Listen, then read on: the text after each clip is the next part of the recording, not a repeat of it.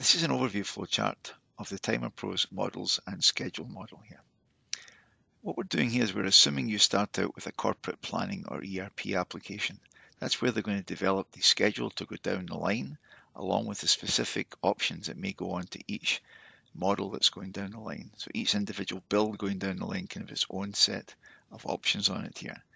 Uh, over on the left hand side here, we actually have all the multiple models that can go down the line and the items in the light blue that you see here those would be the individual options that are available. Not every option is going to be used on every build obviously but a certain combination of options might be used on each particular build.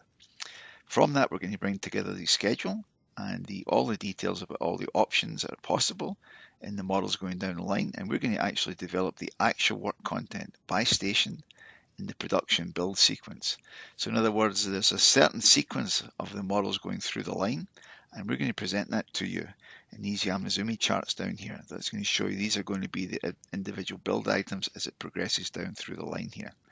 We're then going to provide you with an Excel issue report here. That's a very easy way. It's going to summarize for you in Excel all the issues that exist with the current schedule, the sequence in the schedule, and the models and the options that are required in each build as it goes through the assembly line here. This is going to be one report that's going to summarize everything that's wrong in the current schedule and option mix here. And then we're going to give you a tool in Timer Pro to allow you to take proactive action to eliminate the issues before the production starts.